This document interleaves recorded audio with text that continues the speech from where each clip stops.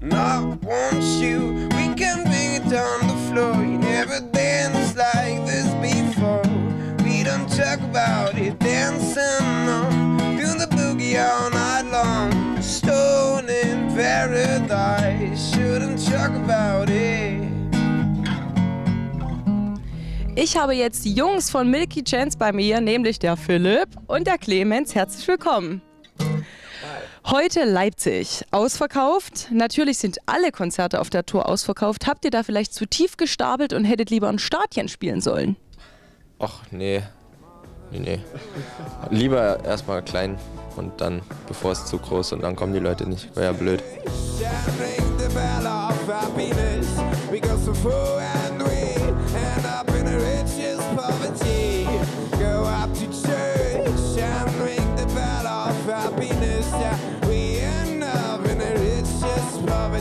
Ihr habt ja euer eigenes Label gegründet. Macht es mit Freunden zusammen. Das stellt man sich ja schön familiär vor und sicher auch lustig. Aber wer hat denn da das Sagen? Also gibt es da irgendjemanden, der auch mal auf den Tisch haut und sagt, Jungs, ihr müsst euch jetzt mal zusammenreißen und arbeiten? Oder wie kann man sich das vorstellen? Es ist alles sehr demokratisch, würde ich mal sagen. Aber ich, jeder haut mal auf den Tisch. So. jeder hat mal seine schwächelnden Phasen und dann kommt der eine und sagt, hier so geht das nicht und dann dreht sich der Spieß auch mal. Das ist immer hin und her. Wie ist es bei euch beiden, wenn ihr zusammen auf Tour seid? Ihr seid ja Freunde. Ist das gut für die Freundschaft oder kann das auch echt eine Schmerzprobe sein, wenn man ständig aufeinander hängt? Nee, das ist definitiv, glaube ich, das Wertvollste an der ganzen Geschichte, weil, ja, wenn du halt die ganze Zeit aufeinander hockst und dich nicht verstehst, das wäre blöd bei dem Job. Äh, nee, das läuft bestens. Und das war vorher so, ist noch so und wird hoffentlich immer so bleiben. You are my fairy tale.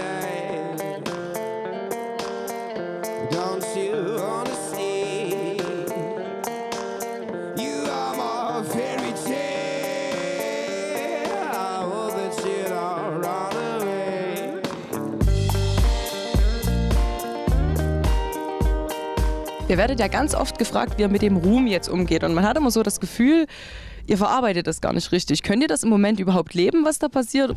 So auf Tour ist es schon schwer, damit dir das zu reflektieren und die Erkenntnisse zu erlangen, weil du hast halt eigentlich permanent neue Eindrücke und permanent was zu tun und dann ist es schwierig. Aber zu Hause geht das schon. Gibt es für euch den typischen Milky Chance-Fan? Bei den Konzerten sind halt immer sehr viele junge Menschen und vielleicht auch viele junge Mädchen, weil die Älteren sind halt nicht so die Konzertgänger. Das sind nicht so, die kaufen sich auch die CD und hören die zu Hause chillig auf dem Sofa. Man kann bei Facebook, bei der, wenn man so eine Musik, Musikerseite hat, kann man so Statistiken angucken. Und da sieht halt, wie, also von den Likes oder wer einem folgt, männlich, äh, Altersgruppe, männlich, weiblich. Und das ist immer 50-50. Sadness is serious. What you promised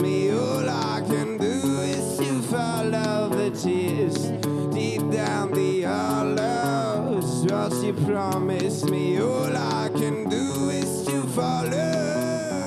Clemens, du schreibst die Texte und sagst, du nimmst das so ein bisschen aus deinem Umfeld, aus deinen Erfahrungen. Warum schreibst du denn nicht in Deutsch? Weil ich das nicht kann. oder äh, was heißt, ich traue es mir nicht zu. Also ich, äh, ich finde das sehr schwer. Also, oder für mich ist es sehr schwer, deutschen Text zu schreiben, der gut klingt. Oder irgendwie die richtigen Worte zu finden. Kann man sagen, dass im Moment die Zeit eures Lebens ist? Nehmt ihr das so wahr? Oh, Es ist auf jeden Fall eine sehr gute Zeit und intensive Zeit und aufregend und es passiert viel und ja, Einfach nur den Artikel. Es ist eine, nicht die. Weil was ist denn die? Das ist eine, oder? Keine Ahnung. Es ist eine ziemlich krasse Zeit in unserem Leben.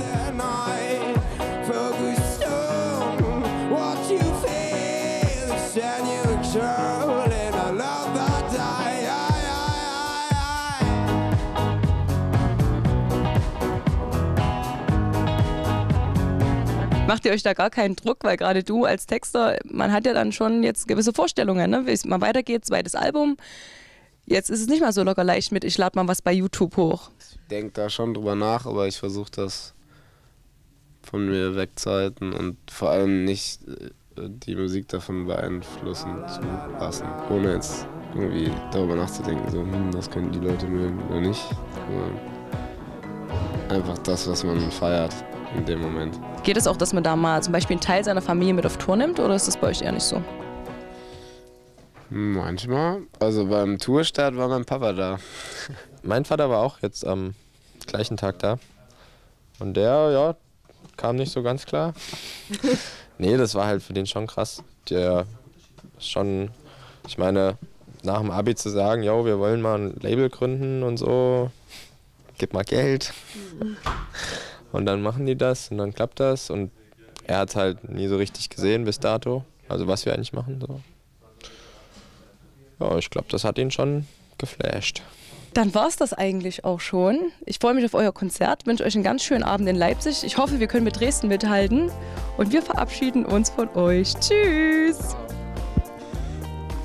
Super, vielen Dank.